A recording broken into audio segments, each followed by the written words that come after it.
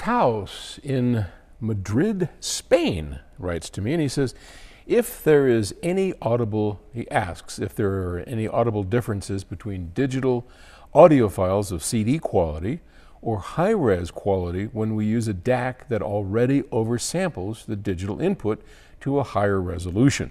Are we okay with simply buying CD quality audio files?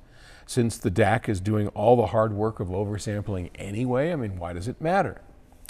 Well, yeah, it does matter. And first off, CD, I love CDs, and they've come a long, long way over the years, but still, despite all the great mathematical work on building filters that we really don't hear, you know, the, the sharp roll off as well, they are limited.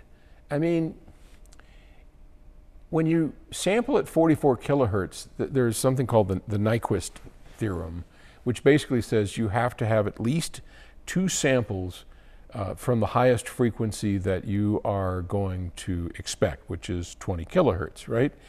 So, I mean, you're, you're cutting off just over that. You've got this brick wall filter, and it's still there. We, it's just, it isn't the best way to do it. And oversampling helps a bit. It isn't really the answer. So, can we hear the difference? Well, first off, if you take it and pretty much any DAC today does a lot of oversampling. Take, take our DirectStream DAC. The DirectStream DAC jumps up anything you put into it to a very high sample rate. I, I, don't remember what Ted uses, but it's way, way up there. And he extends the 16 bit word to about a 50 bit word and converts it over to DSD I mean, there's a lot of processing going on so that everything has a chance at working. And yet, still, despite all that oversampling, I can hear the difference between a CD and a higher resolution version of the same file. And at Octave Records, we have the wonderful ability to record originally at very high sample rates and then slowly take it down to a CD rate. And while those CDs from Octave sound great, they sure don't sound like the original files. so, yeah, oversampling is great, but I wouldn't focus on buying things at CD quality. Personally, I like to have as high a sample rate as I can in purchasing my music. And let me say one other thing about that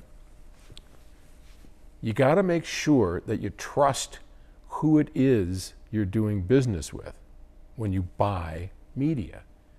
Because if the original recording was made at a relatively low sample rate, and then they, and it's not that hard to do, they upsample it and then sell it for more money, that's not all that kosher. That's not all that honest. Unless they tell you that's what they did, then that's fine. Go for it. But if you think you're getting a high resolution file, you want to know that it was at least recorded at that resolution, right? Not just upsampled from some lower resolution recording. So, like at Octave Records, we're very transparent about how we do this. We record everything today at 256 DSD, which is 11 megahertz, 11.2 megahertz. That's really high sample rate. And now the original octave recordings were all done at single rate DSD on the Sonoma system before we switched over to Pyramix. But even those were at 2.8 megahertz, I think. Is that what it is for single rate? It's 64 times 44.1. you can do the math.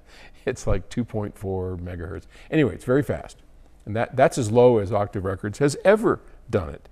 And now from there, especially our 256, you know, we take it back down to DXD, we mix it, and that DXD is at 352 kilohertz.